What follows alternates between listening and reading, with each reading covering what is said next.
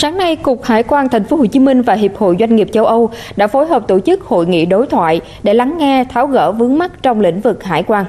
Giá trị hải quan cho hàng hóa xuất nhập khẩu, quy tắc về xuất xứ hàng hóa, những mặt hàng được miễn thuế là những vấn đề được các doanh nghiệp châu Âu quan tâm và đặt câu hỏi với lãnh đạo ngành hải quan thành phố Hồ Chí Minh. Ngoài ra, việc sử dụng kết quả tham vấn một lần trong thực hiện thủ tục hải quan, vấn đề thuế phí đối với container hàng nhập khẩu cũng được doanh nghiệp đặt ra. Để giải quyết triệt để những vướng mắc của doanh nghiệp, Cục Hải quan thành phố cho biết sẽ tiếp tục cải cách thủ tục hành chính, vận hành hệ thống hải quan một cách hiệu quả. Dự kiến giá trị xuất khẩu hàng hóa Việt Nam vào châu Âu sẽ lên đến 35 tỷ đô la Mỹ khi hiệp định thương mại tự do giữa Liên minh châu Âu và Việt Nam được ký kết. Sự phối hợp chặt chẽ, hiệu quả giữa cộng đồng doanh nghiệp châu Âu với hải quan sẽ giúp Việt Nam tận dụng hiệu quả từ hiệp định này.